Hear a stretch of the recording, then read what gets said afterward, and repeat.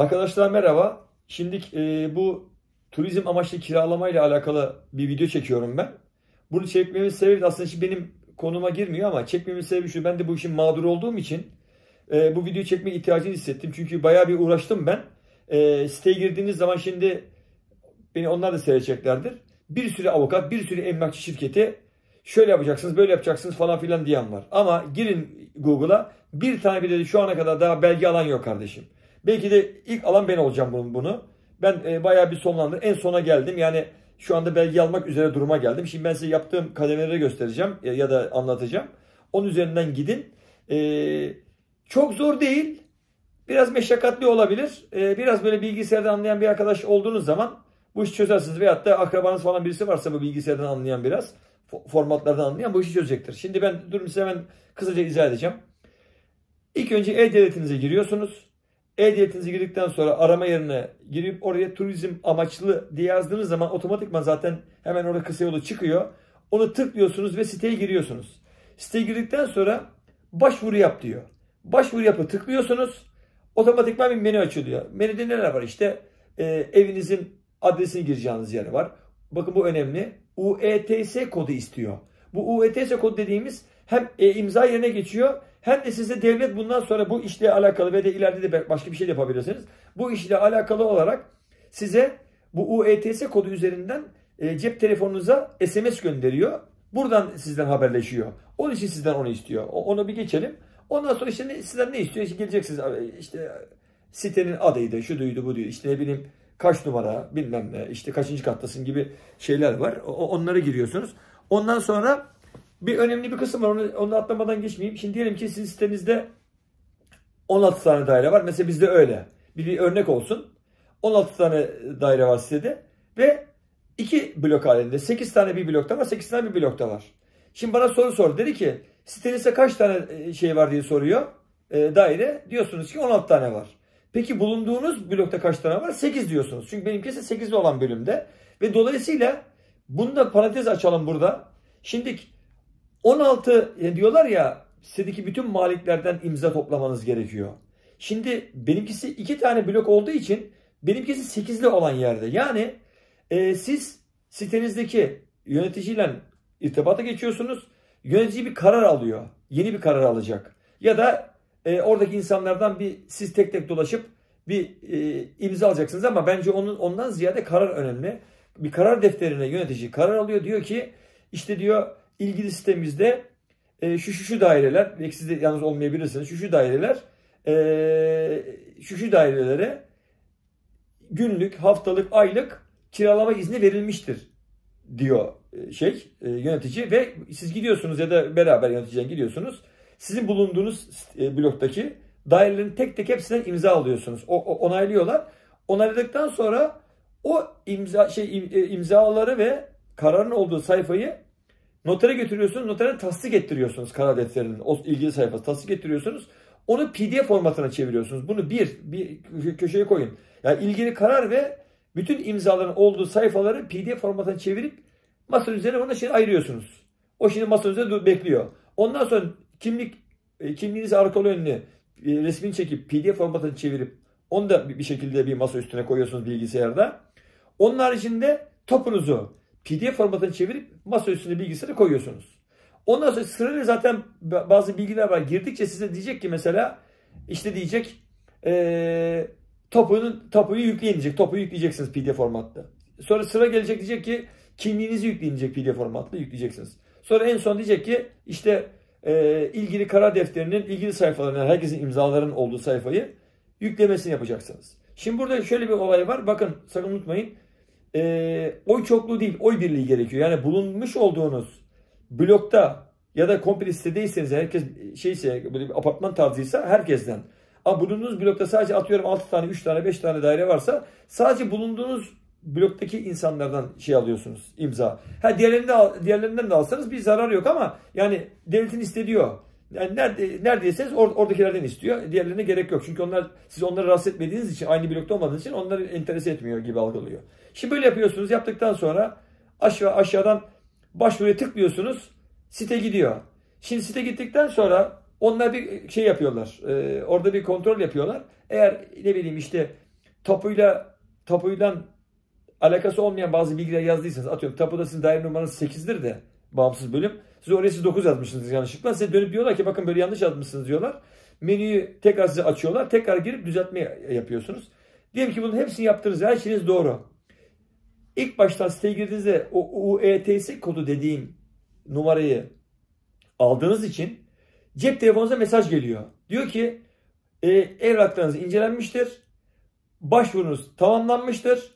Size, size bir link gönderdik. O linkteki tutarı ödeyin diyorlar.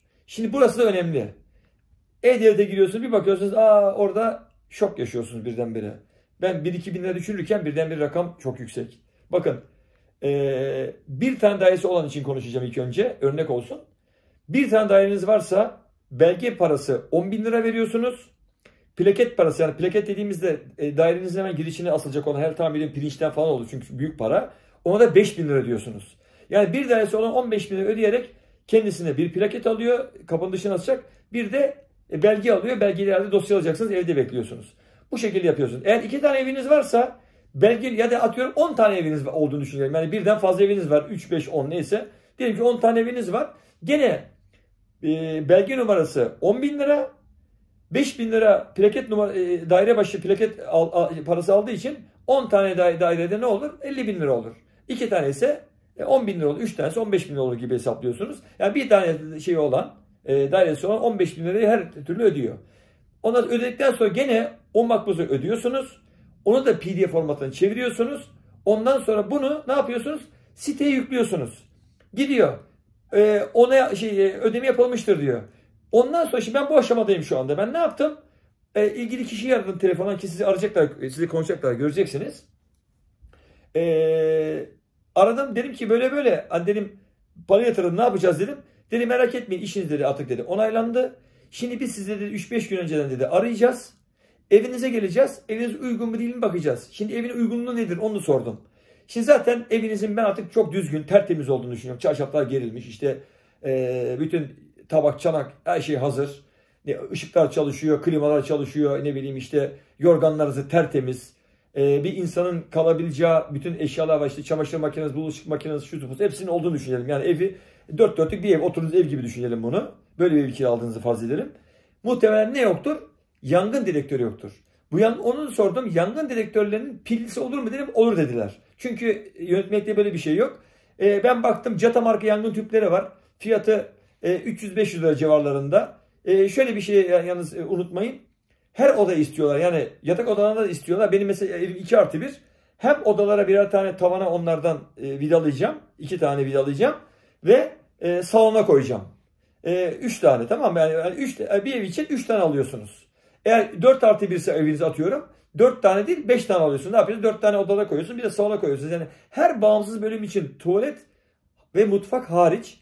Eğer açık mutfaksa gene alıyorsunuz. Eğer mutfağınız hariçse mutfağı almanıza gerek yok. Salonda ve iki odaya mutlaka alıyorsunuz. Bilginiz olsun yani. Bütün yani yatılabilecek ve konaklanabilecek yerleri alıyorsunuz. Bu böyle. Şimdi bunun haricinde bir de ev başı bir tane minimum 6 litrelik yangın tüpü alıyorsunuz. Başka hiçbir şey yok. Bunu da hazır tutuyorsunuz. O arkadaşlar size diyecekler ki atıyorum mesela 10 gün sonra geliyoruz. Siz 3 gün önceden gidiyorsunuz eve. Evi yine toparlıyorsunuz. Adamlar geliyorlar bakıyorlar gerçekten her şey düzgün. Yangın tüpü var. Yangın direktörü var. Size belgeyi veriyorlar ve gidiyorlar. Siz o belgeyi alıyorsunuz. Ee, bunun en son kadından sayır bilgi bu. Kadından o plaketi kapının dışına asıyorsunuz. Belgeyi evde saklıyorsunuz. Başka durum bu. Şimdi bir şey daha e, e, e, onu size söyleyeyim. Bu önemli. Bunu çünkü hiçbir orada avukat avukat kimse bir tanesi söylüyor ama yani tam e, millete iyi bilgi vermiyor. Millete böyle korkutarak anlatıyorlar. Şimdi eskiden kiraladığımızda bizim 3 aylık, 6 aylık, 7 aylık olduğu için yıllık kiralamalarda biz ne yapıyorduk? Yılda bir Mart ayından Mart ayına biz şey veriyorduk. E, beyanname veriyorduk kar, kazanç üzerinden. Şimdi bu Airbnb ve sahibinin.com'da kiraladığımız zaman artık 3 günlük 5 günlük aylık kiralayacağımız için bunu devletin e, ya da bizim de bunu e, denetleyecek durumu yok. Ayrıca de paralar artık hep hesaba gelecek. Zaten Airbnb zaten hesaba geliyor. Ve artık bunlar sisteme gelecek. Onun için şimdi e, bu çok önemli bakın arkadaşlar. İster yapın ister yapmayın. Ben uyarıyorum. Ben yapacağım iş üzerinden gidiyorum.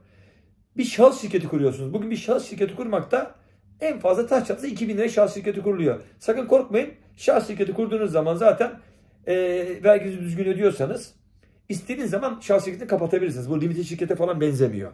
Ve buna bütün ne kadar masrafınız varsa şahıs masrafınız onu da e, gösterebiliyorsunuz. Demem o ki yani şuraya getireceğim lafa. Belgeyi aldınız, dışarıya plakati astınız, her şey hallettiniz, iş bitmiyor. Ayrıca artık siz ticari bir kazanç elde ettiğiniz için mutlaka mutlaka ilgili vergi dairesinden e, kaydınızı yaptırmanız gerekiyor ve oraya şahıs şirketi kurmanız gerekiyor. Size atıyorum 1 Temmuz 15 Temmuz arasında birisi kalmak istedi. Zaten parayı Airbnb üzerinden gönderiyor. Hesabınıza para gelecek ve dolayısıyla devlet tarafından bu kontrol ediliyor. Siz o kişiye atıyorum günlüğü 1000 liradan 10, 15 gün kaldı 15 bin liradan evi kiraladığınızı farz edelim. 15 bin artı KDV ilgili kişiye fatura kesiyorsunuz.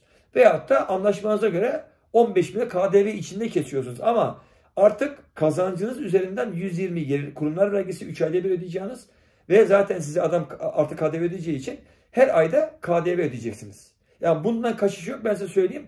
Durum budur. Bunu yap, bunu yapmak isteyen bunu yapsın. Onun haricinde sakın o toplara girmeyin. Başınız belaya girer ben size baştan söyleyeyim.